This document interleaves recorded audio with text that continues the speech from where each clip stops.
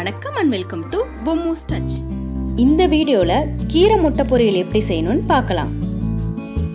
அதுக்கு ரெண்டு கத்த கீரையை நல்லா வாஷ் பண்ணிட்டு இது மாதிரி பொடி பொடியாக கட் பண்ணி வச்சுக்கோங்க. இப்போ ஒரு பேனில் ரெண்டு டீஸ்பூன் ஆயில் ஊற்றிக்கோங்க ஆயில் நல்லா ஹீட் ஆனதும் அதில் கடுகு ஆஃப் டீஸ்பூன் ஜீரகம் ஆஃப் டீஸ்பூன் கடலைப்பருப்பு உளுத்த பருப்பு ஒரு டீஸ்பூன் போட்டு அது நல்லா பொரிய விடுங்க. நல்லா பொரிஞ்சதும் கட் பண்ண ஒரு பெரிய வெங்காயம் போட்டுக்கோங்க. அதோட மூணு வரமிளகாயை கிள்ளி போட்டுக்கோங்க. இது சீக்கிரம் வதங்கிறதுக்காக கொஞ்சமாக உப்பு போட்டு இதை நல்லா வதக்கி விட்டுக்கோங்க.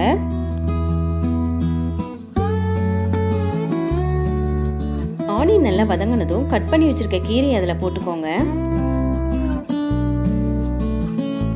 இப்போ கீரையை வதங்கின ஆனியனோடு நல்லா கலந்து விட்டுக்கோங்க. பேன் ஃபுல்லாக இருக்கிறதுனால ஆரம்பத்தில் கீரையை வதக்கிறதுக்கு கஷ்டமாக தான் இருக்கும். கொஞ்சம் குக் ஆனதுக்கப்புறம் இலையெல்லாம் சுருங்கி கீரையினோட அளவு கம்மியாயிடும்.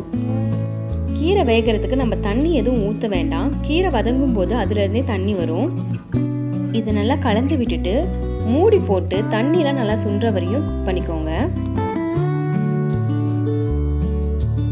இப்போ ஒரு ரெண்டு நிமிஷம் ஆயிடுச்சு. நம்ம மூடி ஓப்பன் பண்ணி பார்க்கலாம். பாருங்க தண்ணியெலாம் சுண்டி கீரை நல்லா குக் ஆயிடுச்சு. இதை ஒரு ஓரமாக நகர்த்தி விட்டுக்கலாம். ரெண்டு கத்த கீரைக்கு நான் ஒரு மூணு முட்டை உடச்சி ஊற்றிக்கிறேன் இப்போ முட்டையை கீரையோட நல்லா கலந்து விட்டுக்கோங்க. நிறைய குழந்தைங்க கீரை சாப்பிட்றதுக்கு அடம்பிடிப்பாங்க அவங்களுக்கு இது மாதிரி முட்டை ஊற்றி செஞ்சு கொடுங்க. அவங்க விரும்பி சாப்பிடுவாங்க. இதே மாதிரி மற்ற கீரை வகைகளான முருங்கைக்கீரை மணத்தக்காளி கீரை பாலக்கீரையிலையும் செய்யலாம். ட்ரை பண்ணி பாருங்க.